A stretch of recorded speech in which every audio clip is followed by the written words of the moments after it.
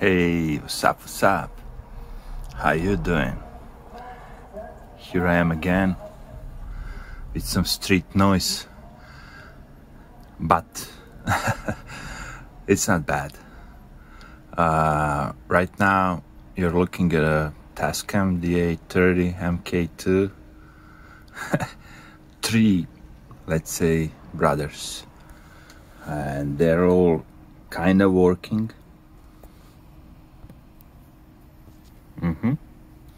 First one is actually playing the tape, and uh, hold on, I'm recording one tape here. Uh-huh. Everything is fine. Cool, cool, cool. but that's a different story. So first one is playing the tape. Uh, the second one is getting input, coaxial digital input, and the third one's too right now you can see how brighter the the display on the those two at the top than the one at the bottom. And the one at the bottom doesn't have a knob. That would be the major difference. Uh, they're all kind of working except this one. This one is working totally fine. But uh -huh, look at that one. He's complaining come back again.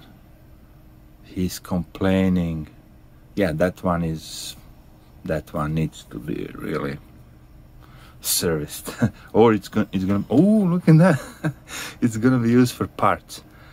Uh, you can see the display is kind of dim, which means that this model probably used to be turned on a lot of time.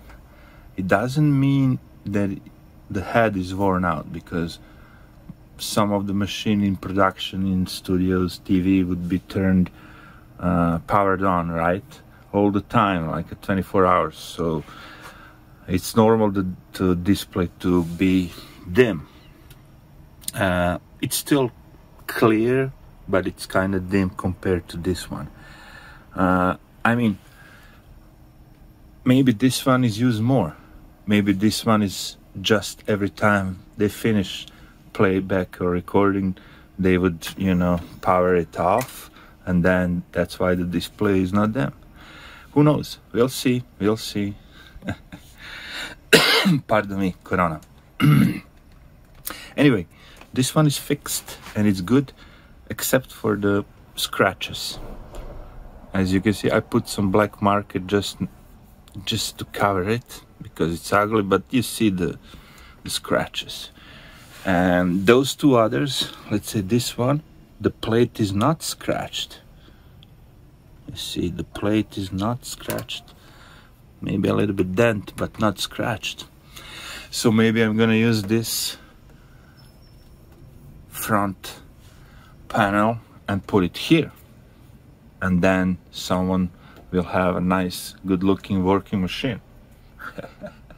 We'll see but anyway, it's um, nice to have three in a row.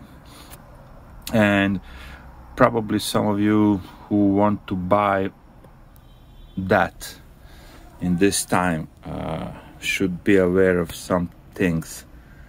Uh, unless the seller specified that the that is gonna work and he or she tested it properly, uh, you will get a broken dat. anytime someone mentions it powers on, you know, like open, close, that's what they tested. They didn't test it what's gonna happen when you put the tape inside. Is it gonna play fast forward, rewind? Is it skipping? Does it have distortion? All that stuff.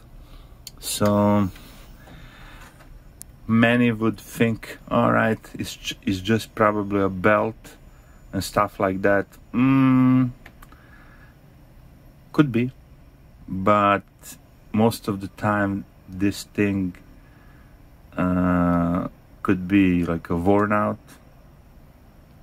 or could be, you know, someone put it in some some bad storage, let's say, it was dusty, dirty, humid, whatever. Could be a lot of damage with vintage old hi-fi and let's say recording equipment. Look at my finger. Um, so yeah uh, I'm probably gonna make one video with one unit so I would explain all those function what can you do and all those connectors at the back and basically it's really great unit. And even if you have it broken even if it doesn't work as a DAT player recorder it still had has really great audio digital uh, DA and AD converters. So you can hook up like CD transport or some analog sound and convert it to digital. Because with this unit if you put it like in record mode okay as I did previously all right? Uh, so now I have input from this unit but I could have input from any other device. I could simply use it as a peak meter like it looks good right? Put it under your computer or whatever and it's gonna it has re really large peak meters. But yeah you can put a some other device on digital input you have coaxial and you have like a bunch of inputs and outputs at the back so you can use it as um, a AD or DA converter, whatever you prefer, because this machine, it has really great sound.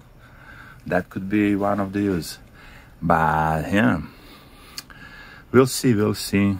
One will be properly restored and the other one, I don't know, the third one, there is uh, not so not so much hope with this one, but we'll see. You never know. You never know.